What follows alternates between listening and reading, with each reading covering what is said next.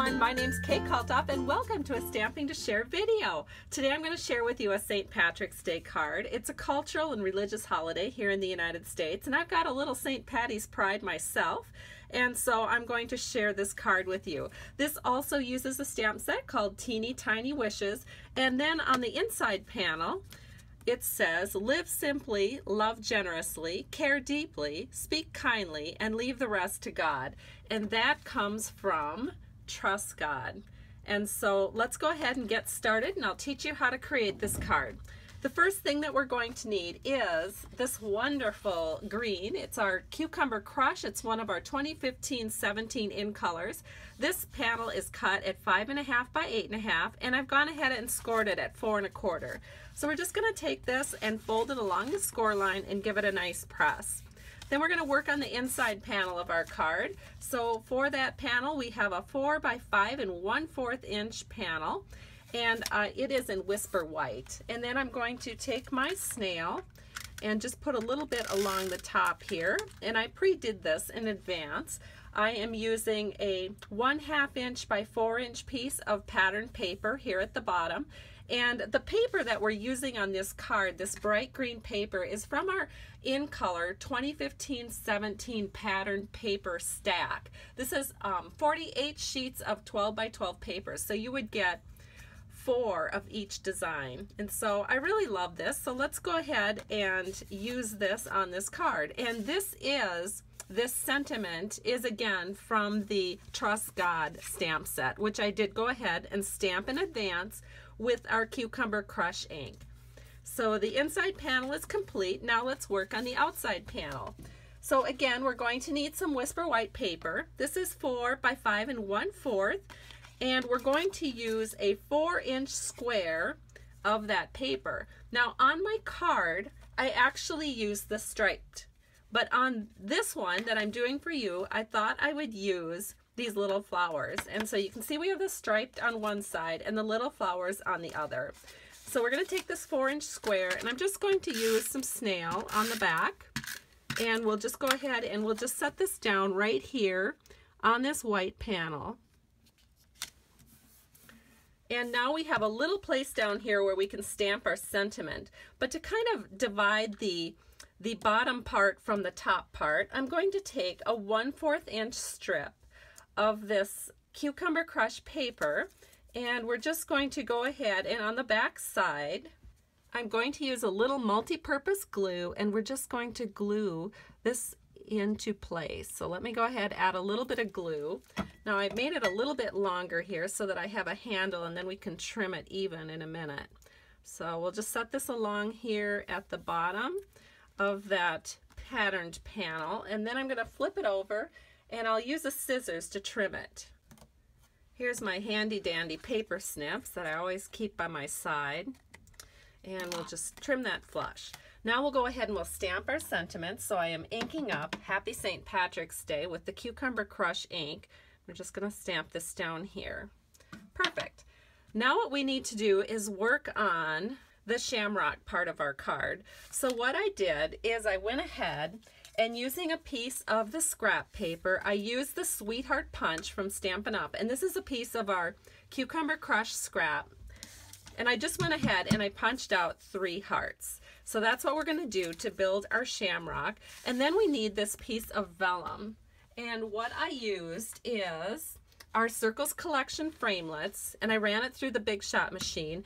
And the one that I used is the seventh largest framelit. So if you start in the middle and count outwards, it's the seventh framelit. And then I ran that through the Big Shot machine with this piece of cardstock vellum. So now I'm just going to go ahead and we're just going to glue these shamrocks to our vellum. So here's the first one and I'm just setting it in there so that it's pretty close to the top. And then the next one. And I'm just lining it up so that it touches and that this end comes right to this end. So we have the bottoms of our hearts touching as well as the side. And then we'll do the same thing to the last shamrock piece here. And I left the, I didn't put any glue right here because I want to be able to stick the stem up under, under there. So how do we create that really cute stem? So let me show you the original card again. We have this lovely stem coming down from our shamrocks. And how I did that is again, I used the Big Shot machine, but this time I used my ovals collection, which looks like this. And I used the fifth and sixth oval. So what I did is I just took again a piece of cucumber crush scrap and I, I set it in here. Let me just show you. First I put this one down and then I put this next one down and and I just ran it through the Big Shot machine like that. So I tried to kind of go halfway so so that it's like a half an oval and I just put these two together and they are number five and number six. So if you start from the middle and count outward, it's the fifth and sixth oval that I use to create the stem for my shamrock. So let me go ahead and put this aside.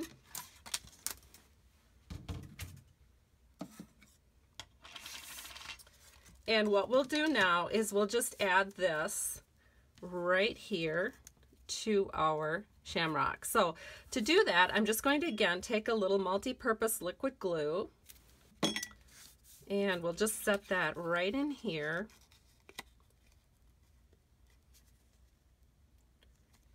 And it looks lovely. So you can see how that works. It'll, it'll just go like that onto our card. So now the next thing to do is to set that actually onto our card panel. So I have the card panel right here just going to give this another second or two to dry. In fact, while I'm letting this dry, I can go ahead and I can use our iced rhinestones to create kind of an accent in the center of this shamrock.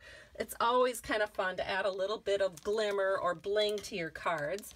And so these are our iced rhinestones from Stampin' Up! and I just have a few here. So I'm just going to pick one up with my paper piercing tool and then I'll just set this right here in the center of our shamrock and that looks so pretty.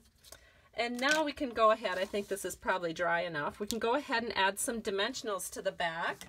So I'm just going to add one dimensional where each shamrock is. And you won't be able to see that because it's on the other side of the hearts. We don't want to put our dimensionals anywhere where they could show through on this vellum. So now we're just going to bring the main card panel back and we're going to set this in just like so. Very pretty. Now what we need to do is just add a tiny bit of multi-purpose liquid glue so that this stem will stay in place. So I'm going to just flip this up and as you can see I could then just add the glue right along this stem. And then we'll flip it back over, give it a little press, give it a second for that glue to dry. Then I'll take my paper snips and we'll just snip this off just like we did the last time. Okay, so now we're ready to finish our card. So here's the card, and all we have to do at this point is just add some snail to the back of our front panel. And then we're going to set that right on the front panel of our card. And it's just absolutely lovely. And I hope this will inspire you to create your own St. Patrick's Day cards. You still have time. And here we go. Here's the one I did in advance, and here's the one I did with you. And you'll have to let me know in the comments which one you like better, the stripe or the little flowers. Have a great day, and thank you so much for stopping by Stamping to Share. I truly appreciate you. If you need any of the supplies to recreate this card, be sure to visit my blog at www.stampingtoshare.com where I have links so that you can place product orders through me for Stampin' Up! items. Have a great day. Bye-bye.